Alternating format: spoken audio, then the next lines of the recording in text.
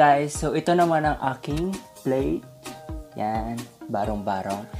Um, project namin yan sa isang materials class.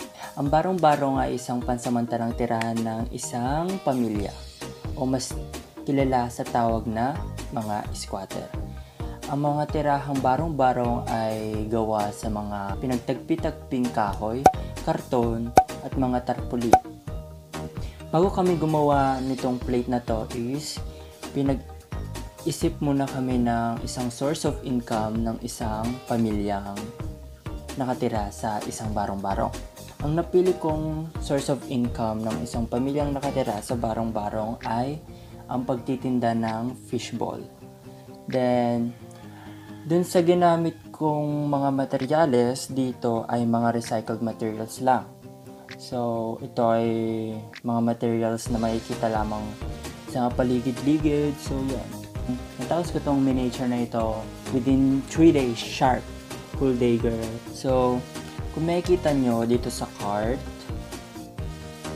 ang ginamit ko dyan ay barbecue sticks. Tapos, naggupit ako sa kahoy or plywood ng ganyan. Kaya naging ganyan siya.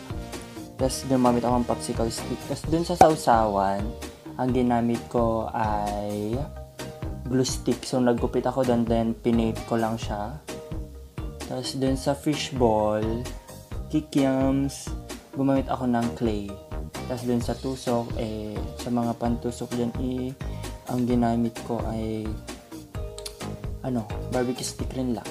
Tapos dun sa payong, ang ginamit ko dyan ay tela, tapos yung pinaka-base ng payong ay wire. So, yun. Dinikit ko siya gamit yung Mighty Band or super glue. Pero mas madi- mas mabilis matuyo yung Mighty Band. Kaso masakit lang sa ilong at nakakahilong, malakas yung amoy niya. Then dito sa side ng bahay, ang ginawa ko, nagbanig-banig ako ng dahon ng nyog na yung tuyo na kaya brown.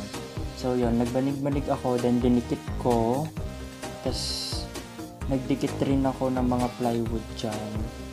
Then, nag-add na lang ako ng kurtina, syempre, para gumanda naman konti yung bahay.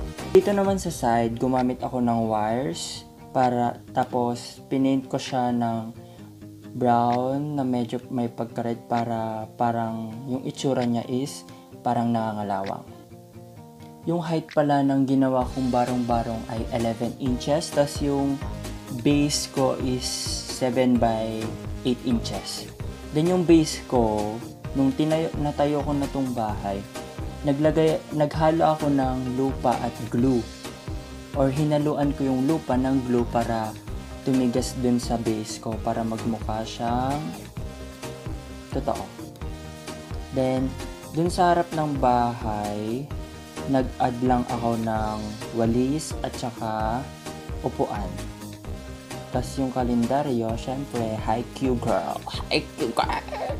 Then dun sa side, nag-post, naglagay lang ako na, ay nagprint ako ng maliit na parang candidate post, candidacy poster or candidate poster ni Rodrigo Duterte. Yung ginamit ko pala sa yero ay ano, yung karton ng nido ng gatas ng bata para mas maliliit lang yung curve-curve niya kaya sakto lang yung size noon sa ginawa kong bahay. Din naman sa materials, madali lang naman siya gamitin and madali lang siya gawin. Nakaka-enjoy siya gumawa, nakaka-enjoy gumawa ng isang miniature. Then, yun. Thank you! Thank you guys! Please like and subscribe and comment. Please, please, please. Bye!